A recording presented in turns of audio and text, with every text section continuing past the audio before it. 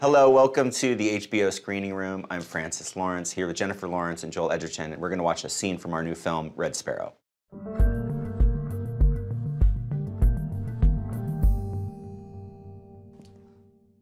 When I was in Moscow, they talked about a program that Khrushchev had set up. Uh, young officers trained to seduce and manipulate. They called them sparrows.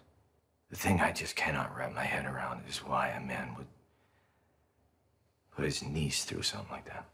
I was told to take a man to a hotel to get information.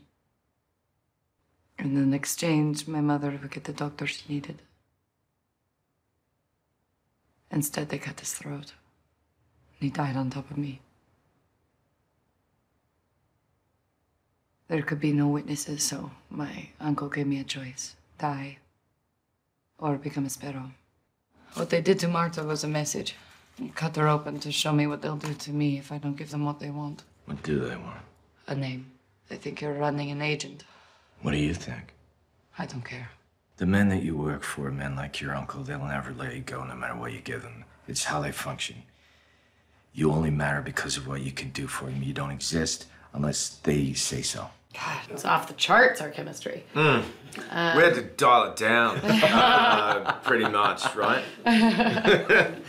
I didn't. Uh, no, I'm just kidding. Yeah. Part of what I really like about this scene is that they're both actually telling the truth, but you still are left wondering what are their motivations for telling the truth and what do they really want from one another.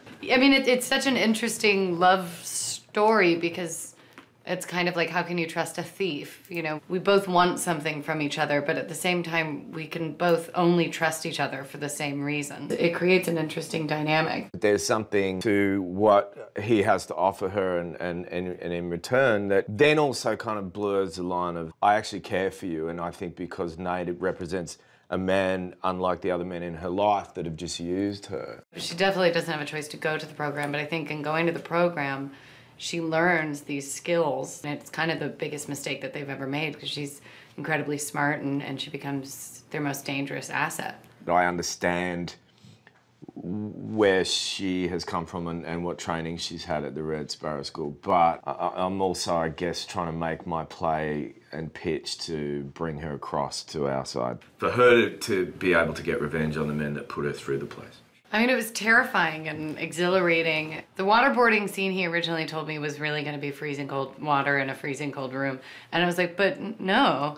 And then he was like, well, it'll steam up. And I was like, no. So he, we made it like humanly lukewarm, which I think you can still see steam.